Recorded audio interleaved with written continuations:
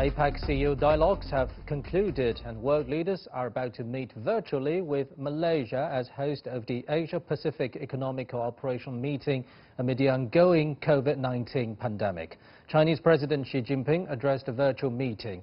Senior officials from the 21 APEC economies met last week in preparation for the main event and promoted policies to be adopted collectively by the APEC economies, which account for about 40% of the world's population and half of global trade.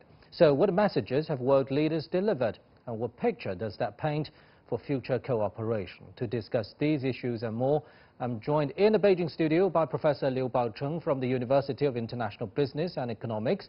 We'll also cross live to Mr. Chheang Vannarith, President of the Asian Vision Institute, and Professor Jeffrey Towson, host of Jeff's Asia Tech Class. That's our topic. This is Dialogue. I'm Pan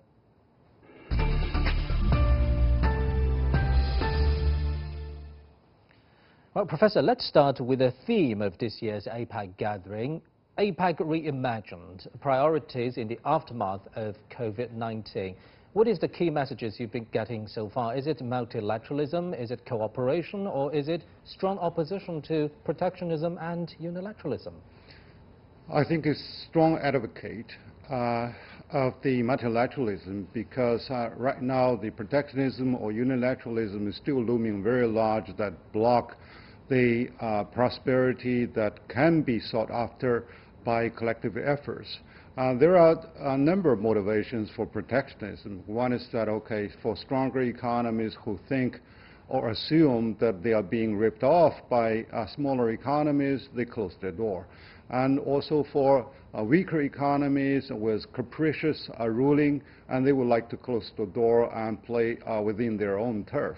And third is that there are certain interest groups that may hijack politics that uh, politicians may have to respond. But all of which is a matter of ethnocentricity, and that in the end can really uh, hurt their own interest and also they hurt the, all the benefit for a shared economy and inclusive growth uh, among a community that can be you know, playing by the rule and playing on a fair basis. Mm, talking about playing a major role, uh, Professor Towson, the United States is the world's largest economy and it has been playing a quite important role in APEC. But this year is kind of unusual, isn't it? Because on Friday morning, President Donald Trump missed his spot on, a, on the gathering and uh, this reminds us of last week's uh, ASEAN summit. He was supposed to deliver a speech there, but instead he sent uh, his national security advisor O'Brien to address the ASEAN summit. But this time, um,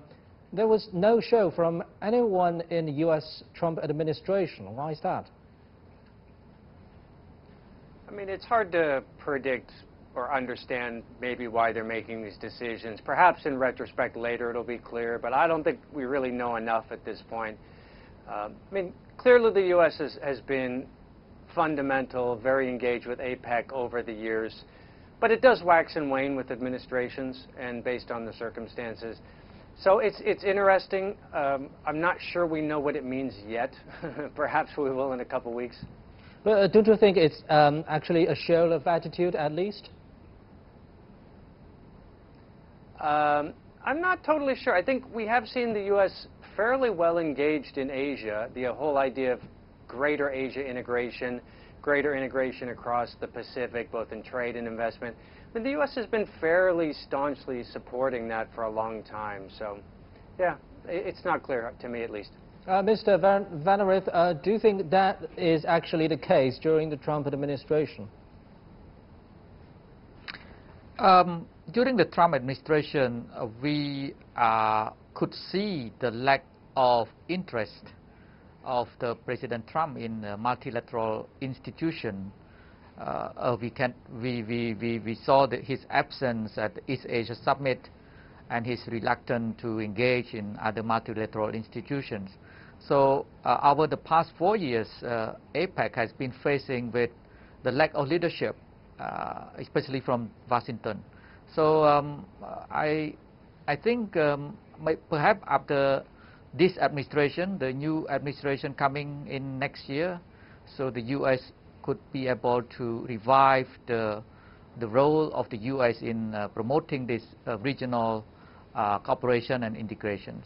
So, since you mentioned that, this is also a critical juncture for the APEC grouping itself, because this is uh, the gathering for the leaders to come up with this, their post-2020 vision, as the earlier vision expires uh, this year. So, do you think uh, the grouping will have uh, something new in their vision in terms of leadership, in terms of implementation, in terms of consensus building? It's hard to say at this stage, but uh, it, it, depends on the leadership at the capital city of the member states of APEC. Uh, so far, uh, we, we have some kind of political issue and geopolitical issue uh, between the members of APEC.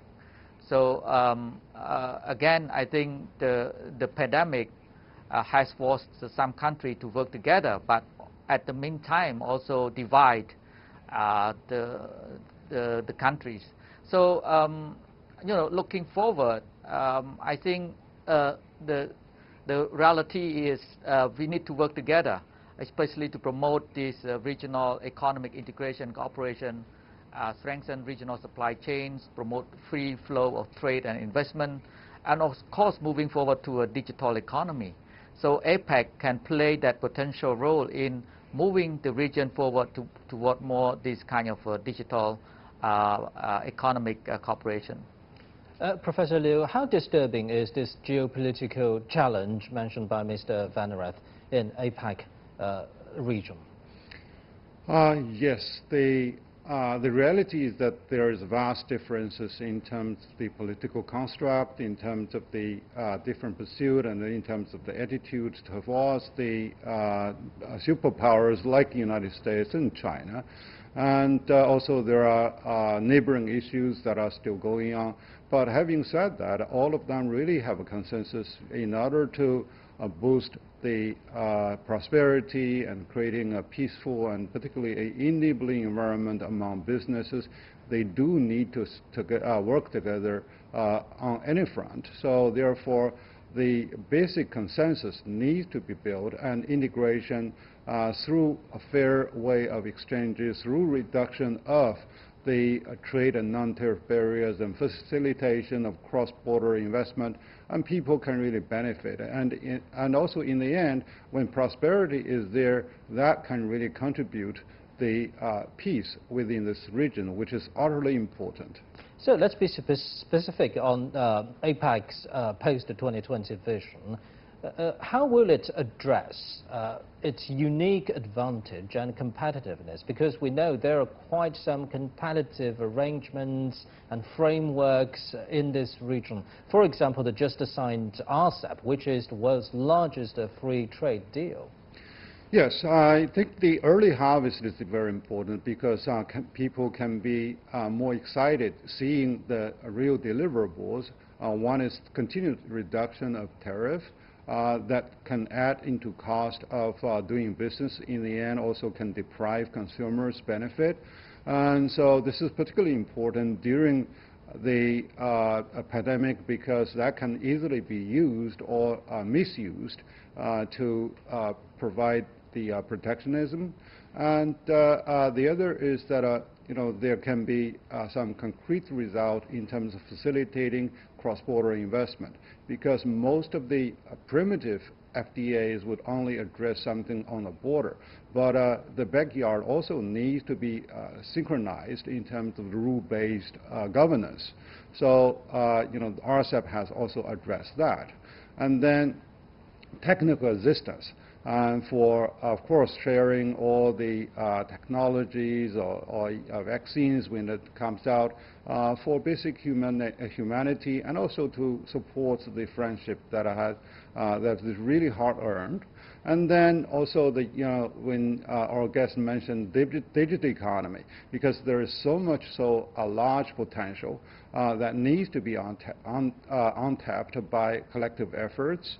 And uh, fundamentally, I think still infrastructure development through connectivity, uh, either with roads or uh, with the uh, telecommunication, are still the key uh, to bring people closer together in a cost-effective way. And talking about digital economy and techno technological uh, advancement in the region. Uh, Professor Towson, uh, what's the dynamics you've been getting from uh, where you are? Yeah, I think what's interesting, particularly about the regional economic partnership of last week, is is the discussion is starting to move away from trade and investment, which is traditionally what these groups talk about, free and open trade and investment, a lot of tangible things moving across borders, uh, to more of the intangibles, uh, data, cross-border payments, talent, uh, advanced skill sets in, you know, sort of human capital, uh, IP protection, things like that. That's a lot more interesting in terms of going forward because that is where the world's going. You know, when we talk about a sort of interconnected Asia of 5, 10, 15 years from now, you know, a lot of that's going to be digital. It's going to be these intangible things, not, you know, putting things into shipping containers. That will happen too, but it's this other side that's, I think, the most exciting. Uh, Mr. Van talking about an uh, interconnected Asia and even the larger interconnected APEC region. What do you think is the biggest challenge here? Is it um, the differentiated developmental stages uh, among economies, or is it uh, the lack of sufficient infrastructure? I think uh, domestic politics matter the most because so far uh, the, under the WTO or APEC, uh, agricultural products has been uh, one of the most sensitive and complex issues because of the domestic politics. So how can APEC member states can push forward, um, you know, the reforms of, let's say, subsidy to reduce subsidy on agricultural products, to promote, promote more free flow of agricultural products across the region. So that, that's really a very sticky issue that uh, we, we need to address. And the APEC members, uh, they need to work together to have uh, one voice on the, the reform of the World Trade Organization, which is now is under attack, uh, you know, um, because of the protectionism, uh, unilateralism, and the lack of uh, effective uh, dispute settlement mechanism. Um, so, so that, that is something that we need to work out. And then uh, after this summit, I think the political leader need to go home, explain their constituents, their people about the benefits of promoting free trade, uh, investment, and the digital connectivity. So I think uh, this come with uh, to, to build consensus at the national level. So domestic politics really matters.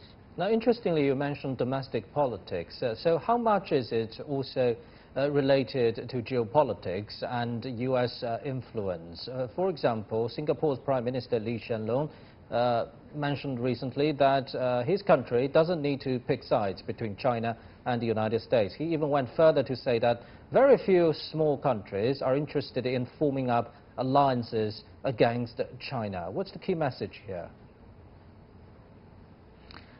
Uh, well, obviously, uh, foreign policy, including trade policy, uh, begins or start at home. So I think uh, it depends on how the national leader define their national interests, uh, and then how they can connect uh, the national interest with the foreign policy and trade policy. So across Southeast Asia, including Singapore, they are not interested in taking sides. So that is very clear, crystal clear. so any major power that intend or attempt to force them to take side uh, would face the uh, kind of a, a setback. So, um, so that is the way forward. Uh, as a collective agency, ASEAN, for instance, can uh, navigate through this uh, geop geopolitical competition, and uh, we we we just want to stay neutral and independent from major power competition. Mm. What about domestic? Um, factors uh, to drive uh, growth. Uh, Professor Towson, earlier you mentioned digital economy, uh, technology, all those um, beautiful pictures for the, for the future. But what about right now, the impact of COVID-19? I think Thailand is uh, a quite good example to talk about this. Uh, tourism is indeed a pillar for Thailand's economy, but it has been shattered by this year's pandemic. And also, talking about domestic politics, the country is facing some unrest in its domestic politics. So what do you make of the situation? In terms of you know interrelations between the region and interconnectivity, obviously politics impacts certain things a lot more than others. Uh, tourism, which was you know in Thailand, it's you know, let's say 20% of the GDP more or less.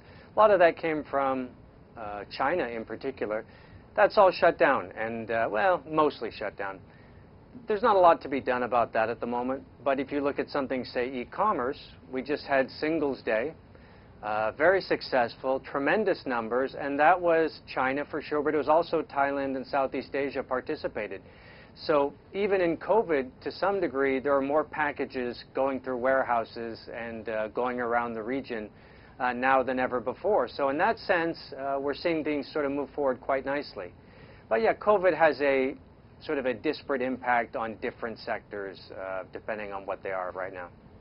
So talking about uh, November the 11th, also known as uh, Singles Day, uh, Professor Liu, uh, let's talk about China's uh, domestic demand because that is also an emphasis in, emphasis in President Xi Jinping's address to the APEC CEO dialogues uh, on Thursday. what do you make of the potential here?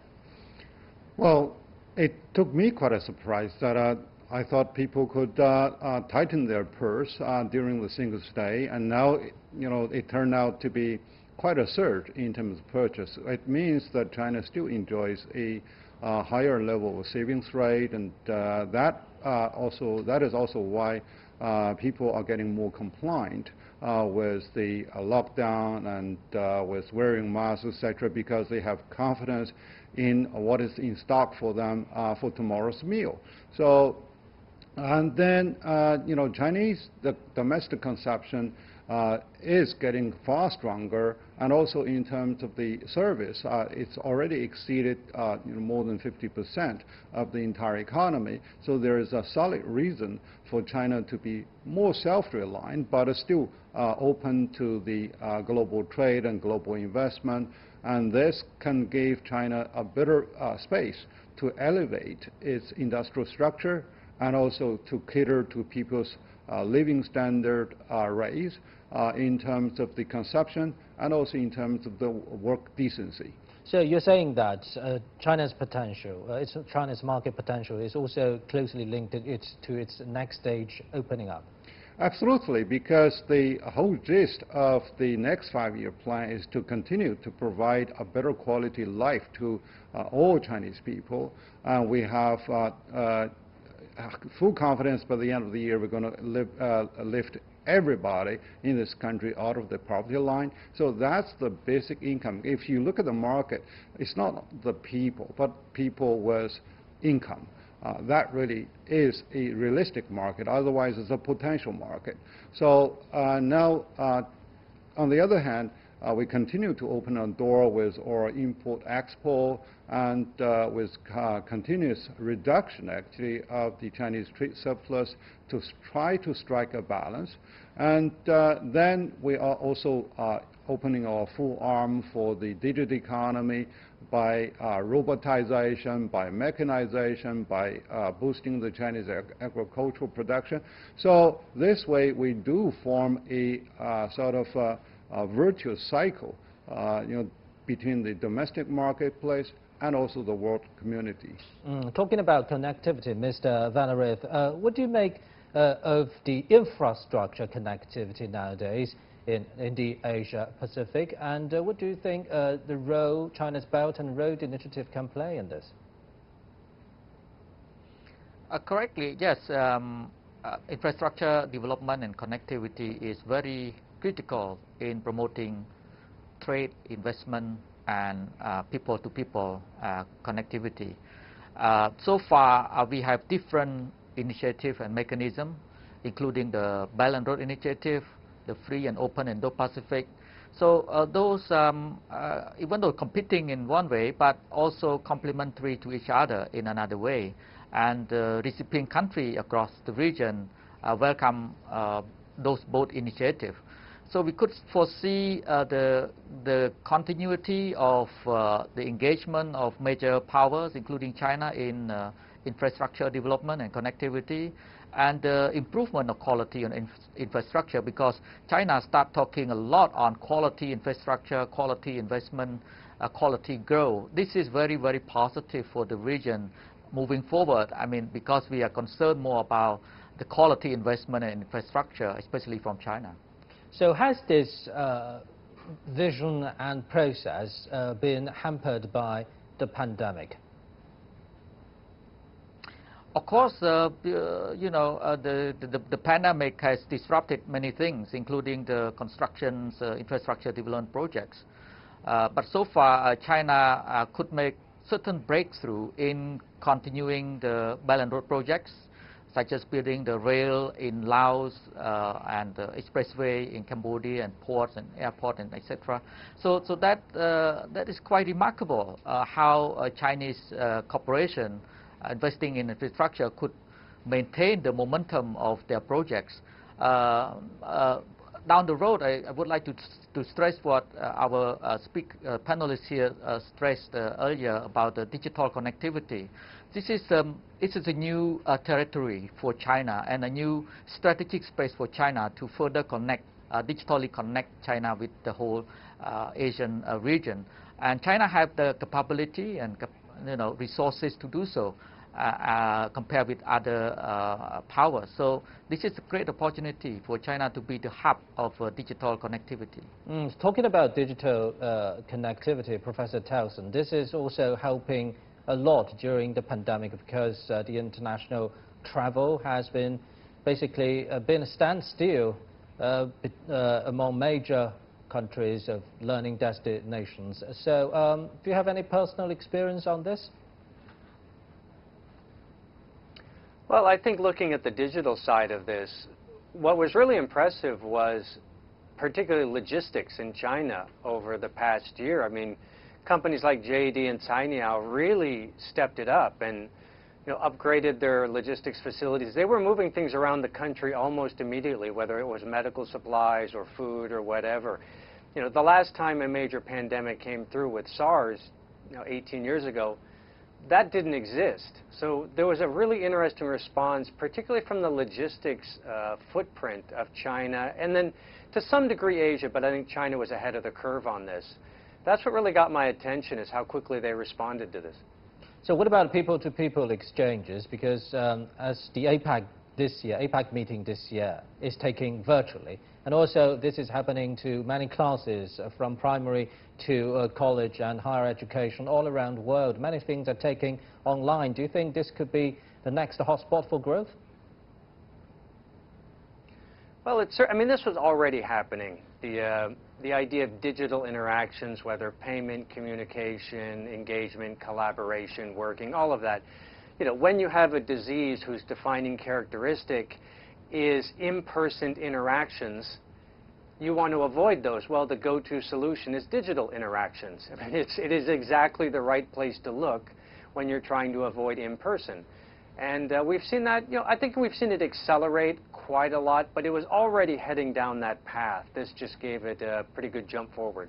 Right, now let's take a look at the big picture, dear guests. Um, according to the IMF, economic activity in the Asia-Pacific is expected to contract by 2.3% this year and uh, grow by 6.7% in the year 2021. That's compared to the minus 5.8% this year and 3.9% next year in advanced economies. What does this tell, Professor Liu?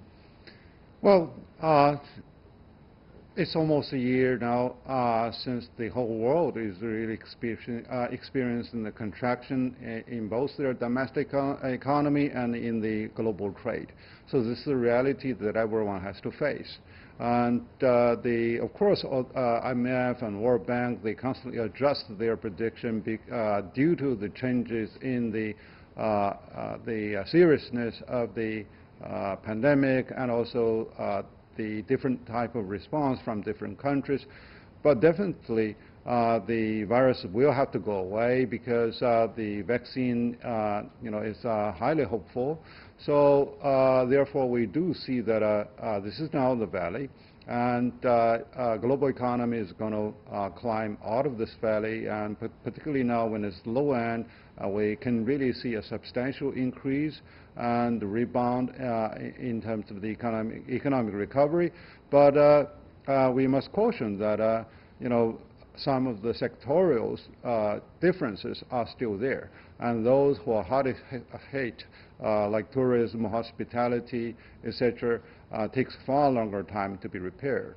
But uh, in the meantime, we do also see some other industries because of this, as you mentioned about you know the, uh, the uh, virtual conferencing, uh, online education, and they benefit a great deal in addition to e-commerce. So what's your take on this, Professor Towson? What's the unique uh, advantage uh, for this projected better performance in the Asia Pacific?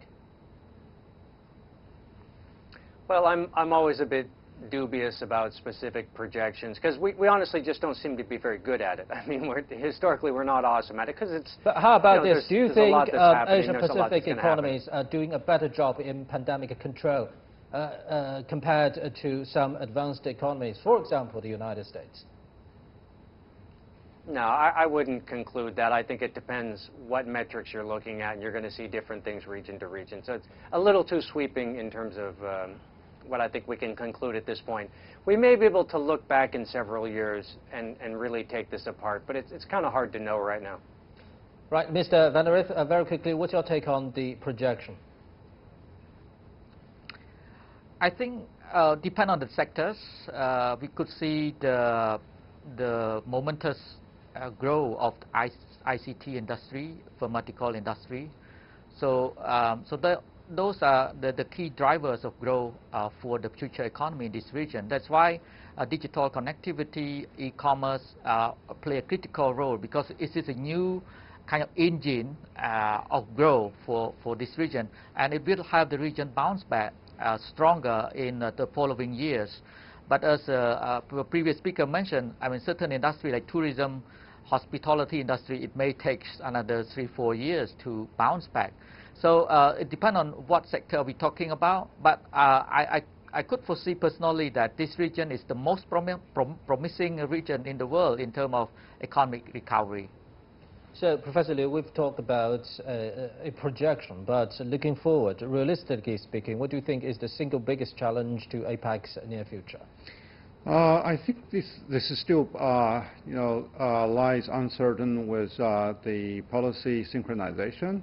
And, uh, you know, uh, everyone speaks about the uh, political rhetorics, and, uh, but uh, um, many of them, those members are having their own agenda in addition to uh, the existing differences. So therefore, how we can really play a rule-based economic interaction that also remains to be seen. So that is why I often advocate that uh, in order to really to bring people together, and you do need a dispute settlement mechanism, and so you do need uh, to have a whole set of rules. So you know, look at WTO. You know, only when the uh, when the dispute settlement body was there, and uh, the uh, you know the global trade can really surge. So therefore, to build a higher level of predictability and with a better enabling environment and a concerted political will, uh, we can really move farther forward. Thank you very much, Professor Liu Baocheng in our Beijing studio, Mr. Vannarith in Singapore, and Professor Towson in Bangkok. And that's it for this edition of Dialogue on CGTN. I'm Pan in Beijing. Bye-bye.